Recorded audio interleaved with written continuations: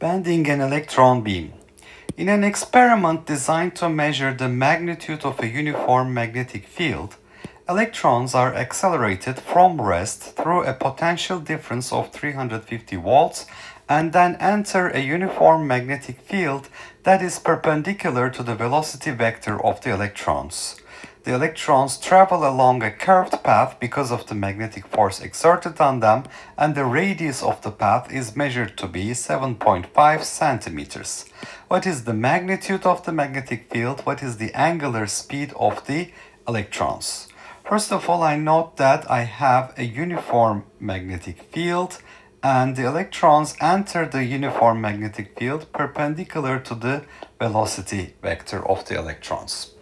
Okay, so in this process, uh, when the electrons are first accelerated under a potential difference, the potential energy will be converted into kinetic energy. So delta K plus delta U will be zero.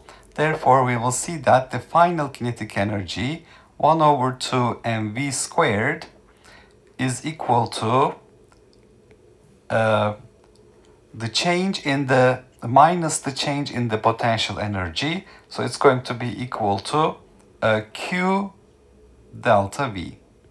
So we have K final minus K initial is uh, equal to U initial minus U final.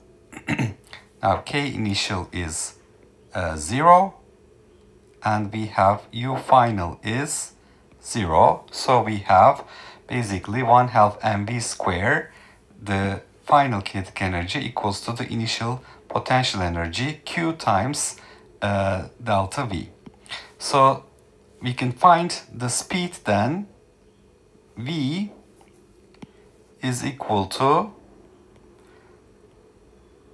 2q delta v divided by m square root. Okay. Now, uh, the speed that we can calculate from this is basically 2 times the electron charge 1.6 10 to minus 19 coulombs times 350 volts divided by mass of the electrons 9.11 10 to minus 31 kilograms, the rest mass of the electrons, and in square root, this gives us a speed of 1.11 times 10 to 7 meters per second. Okay, so what is the magnitude of the magnetic field? Now, inside the magnetic field, I have the centripetal force, mass times the centripetal acceleration, and v square over r is equal to the magnetic force QVB, since it's perpendicular, we have sine 90, so that's going to be 1. So one of these v's will disappear, and I can see that the magnetic field can be calculated as mv over qr. So if I substitute the numbers here, this is going to be 9.11 10 to minus 31 kilograms multiplied with 1.11 10 to 7 meters per second divided by the charge 1.6 10 to minus 19 coulombs multiplied by the radius 7.55 10 to minus 2 meters. So we will get our final answer for the magnetic field as 8.4 10 to minus 4 Tesla. So this will be the uh, magnetic field, the uniform magnetic field uh, which the electron enters. Now we can calculate the uh, angular speed of the electrons because the tangential speed is related to the angular, angular speed v is equal to omega r or omega is equal to v divided by r we already know what v is.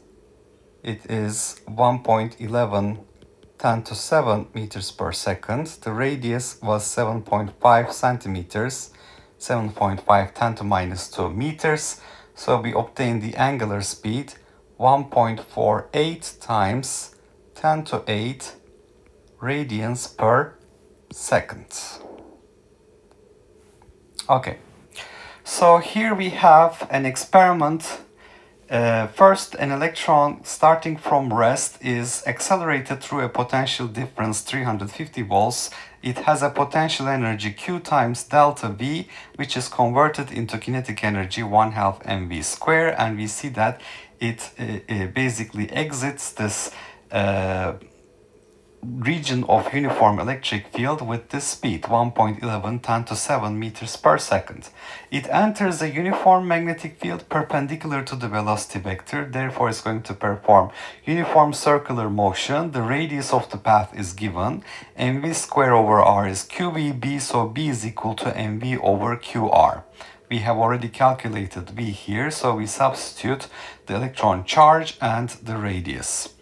Uh, so the plus or minus it doesn't matter here it has to do with the direction of the magnetic field so I basically take the absolute value of the charge in this calculation. So this gives me the magnetic field. The tangential speed is related to angular speed omega times r. So by dividing the tangential speed with the radius we obtain our answer for the angular speed.